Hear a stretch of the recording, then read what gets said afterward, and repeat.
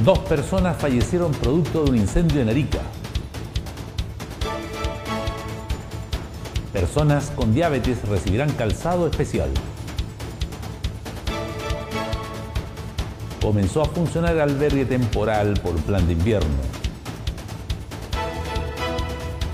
Senadores por Arica y Parinacota realizaron coloquio de seguridad pública.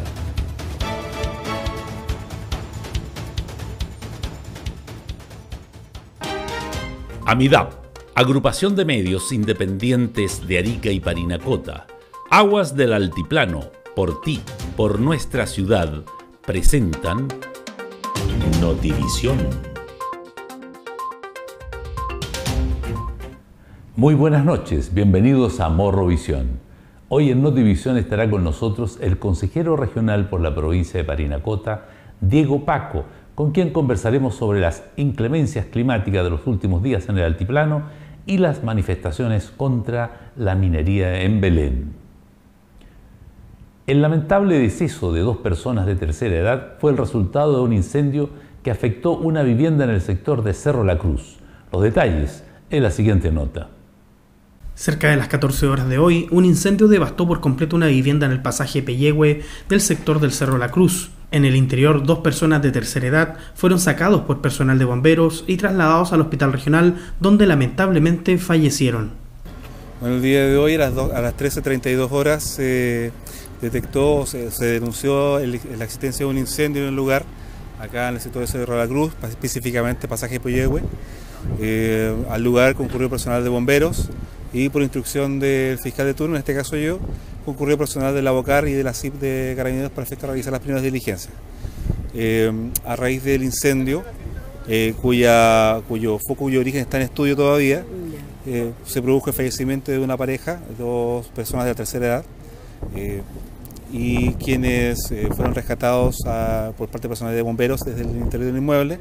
Se les realizó las primeras, la, la reanimación fueron trasladados posteriormente al hospital local, falleciendo lamentablemente alrededor de las 14 horas, 14.40 eh, horas en el hospital local. Eh, fiscal, cuéntenos, ¿ellos vivían solos, eh, familiares? Según los antecedentes que hemos recabado hasta el momento, ellos eran una pareja que vivía solos y sus familiares estarían fuera de la ciudad. Sí, pues, que eh, hay, hay cosas, digamos, que están dentro de los barrios y, esto, estas organizaciones son las juntas de vecinos, en donde muchas veces eh, los propios vecinos se ocupan, ¿no es cierto?, de, nuestros ancianos, nuestros viejitos, y los acompañan, y hay actividades para ellos, y hay una, hay una, hay una tercera parte de la vida que es muy bonita de ir eh, acompañados, digamos, por los vecinos. Los hijos se tienen que ir porque es la ley natural de la vida, pero, eh, bueno, lo que ocurre acá yo creo que más que cualquier otra cosa un accidente porque los vecinos nos hablaron muy bien de ellos además. Mm. ¿Mm? Red de apoyo entonces. Una red de apoyo importante, sí, eso es. Los vecinos conmocionados por el hecho aseguraron que las víctimas identificadas como Guillermo Osven de 85 años y Alejandrina Carvajal de 81 vivían solos. La noticia de su deceso fue un balde de agua fría para sus vecinos quienes visitaban y ayudaban constantemente a las víctimas. Bueno, ¿qué le puedo decir? Pues toda la población consternada con este problema que nos pasó estos dos adultos mayores que se nos van, gente tranquila, honrada eh, y que vivían solitos. Es el grave problema que vivían solitos, que desgraciadamente por el trabajo, Arica no tiene trabajo, sino que los hijos se van, las hijas se van a trabajar afuera Antofagasta, María Elena, donde están las minas, que eso es lo que deja y los mantenían a los abuelitos acá porque les pagaban la pensión, los abuelitos no cocinaban porque la, pensión la retiraban donde una vecina, ellos venía una hija y les pagaba mensual la, la, la, pensión, así que por ese lado cocina prendía no creo, hervidor no sé. Pero independientemente son dos personas de más de 80 años que estén, eh, que estén solos. Eh. Desgraciadamente, eh, por lo mismo te digo, por el trabajo, a veces también ya también los vamos convirtiendo en mayor y queremos vivir solos, no nos gusta que nos estén manipulando, porque esa es la triste realidad, somos un poco, entre comillas, tercos. Mm y, nos creemos el cuento que todavía somos jóvenes. Entonces, por ese lado yo los entiendo. Mm. no deberían vivir solos. La gente adulta no debería estar solita. debería ver si no hay un familiar, ver otras opciones, porque ellos ya su memoria falla. Mi mamita cuando estaba, mi mamita nosotros la cuidábamos, de hecho nosotros nos turnábamos para cuidarla por lo mismo, porque ella ya no podía hacer sus este cosas. Porque uno de ellos se les olvida, aprender la cocina y se les olvidó. no deberían estar solos. Era lo que nosotros decíamos, no deberían estar solos. Sin duda, un hecho lamentable que involucra a dos personas de tercera edad. Hasta la tarde de hoy se informó por personal en el lugar que aún no se conoce de manera certera las causas del siniestro. Veamos otra información.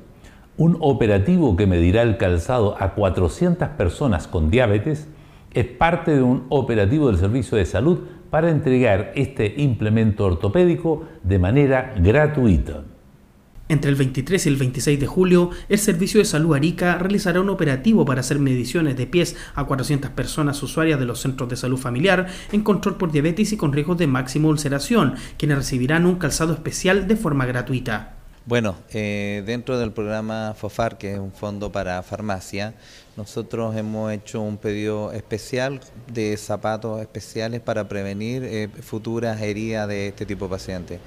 Hemos, en esta etapa hemos comprado 400 pares de calzado con una inversión cercana a los 40 millones de pesos.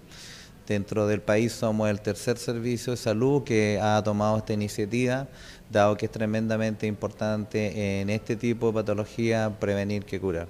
He estado conversando con varios, con varios pacientes, varios de ellos hoy día tocó del Cefam Sapuná, los cuales están muy contentos porque evidentemente eh, visualizan los beneficios que, esto tiene, eh, tanto para, para, su seguridad, para su prevención y sobre todo entendiendo que este tipo de, de, calzados son de alta tecnología que justamente persigue prevenir eh, heridas de mayor daño después.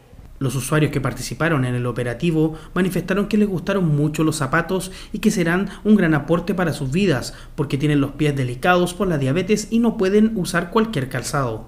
Es muy buena iniciativa, porque en realidad los diabéticos eh, tenemos que cuidarnos bastante los pies, porque, bueno, nosotros somos delicados de pie, somos muy, muy delicados y tenemos que tener zapatos especiales. Y con lo que está haciendo ahora es algo muy bueno para nosotros y para el resto de las personas que van a venir el día después. Muy buena idea, muy buena, son muy buenos los zapatos, muy blanditos, al menos que caminé, el poquito que caminé, estupendo, me encantaron.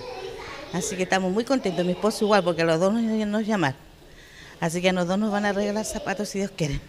Tenemos que esperar eh, dos a tres semanas nomás que lleguen, dicen, los van a llamar para venir a buscar. Así que muy buena idea, ojalá que les esté a todo porque son suavecitos y hay que yo por cualquier zapato no me puedo poner. Pues. Entonces estos son estupendos. Las principales características de estos zapatos es que son de cuero, no tienen costuras, tienen un empeine más alto para evitar el roce, una tecnología que ayuda a la marcha y una duración de hasta seis años. El albergue temporal de población Chinchorro ya brindó las primeras cenas a personas vulnerables tras su apertura la noche de ayer. Anoche comenzó a funcionar el albergue temporal para personas en situación de calles que acoge a quienes integran este segmento más vulnerable de la población durante los meses más fríos del año. Al lugar en la población Chinchorro llegaron autoridades regionales para verificar el funcionamiento y saludar a sus primeros usuarios.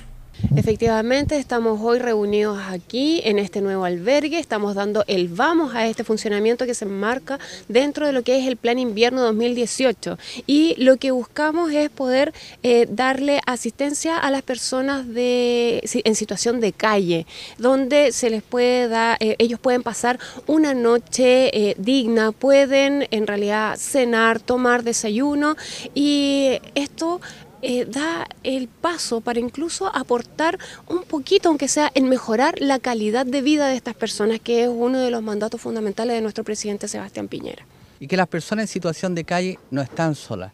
Pero no, en ese no están solas también es, este es un lugar, un espacio que van a tener ellos, pero es un espacio donde van a estar con dignidad. Y acá lo importante también, donde confluyen las voluntades, las voluntades para acompañar ayudar a estas personas que no, lo, que no lo están pasando bien. Vemos el esfuerzo en este caso que también ha hecho el Hogar de Cristo, también el esfuerzo que hace el privado en poner a disposición una casa con estas características, el gobierno que está trabajando y hacemos todo en conjunto esta realidad, porque ellos no la están pasando bien, las personas en situación de calle no van a estar solas, los vamos a estar acompañando porque Chile lo hacemos todos. El albergue tiene una capacidad para 30 personas y cuenta con piezas habilitadas para 4 a 6 personas, cada una con baño privado. En el lugar, aparte de dormir, se les da desayuno, almuerzo, cena y atención básica de salud. Nada que decir, pero igual voy a decir algunas palabras porque igual es algo positivo para las personas en situación de calle, aparte como, como personas, como humanos, como todos. Entonces, y eso es una bendición, como para cada uno de nosotros y no, y este es trágico y terrible vivir en la calle. El que aprende a sobrevivir sabe sobrevivir y el que no sobrevive, no sé, son cosas de la vida que suceden pasar, ¿no? Y aparte de la casa yo me siento impresionado. Impresionado con las cosas de aseo, baño, cama, de todo bien. Usted mencionaba lo duro que es vivir en la calle. Ante eso, ¿qué le parece el trabajo que hace el gobierno, también el Hogar de Cristo con la hospedería y también en, la, en la misma calle, en las rutas? No, es espectacular. Es como un apoyo grande, como todo unido, como hermano, como familia. Y eso es bien respetable. Y eso es lo, bueno. cada uno igual, uno va aportando con la cosa en la vida que también uno también tiene que hacer. Yo también igual soy como un, no soy el único, pero sí soy uno de los, de los primeros que a mí me gustan aportar en ropa, en ropas de invierno, me gusta ver a la gente en la calle, eh, viejitos que tienen frío. Yo estando mal, yo prefiero ayudarlo a él. Y eso me encanta. Y eso eh, a mí me, emociona pues, y me motiva. Y así las personas aprenden a, favorecer, a uno también.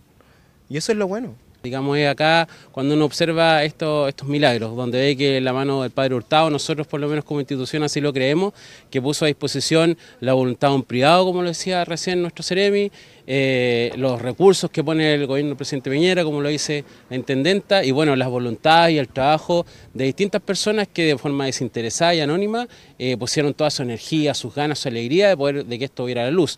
Este recinto está ubicado en la población Chinchorro. El Ministerio de Desarrollo Social además cuenta con centros de atención permanente a personas en condición de calle, como la hospedería Noche Digna y el centro de día.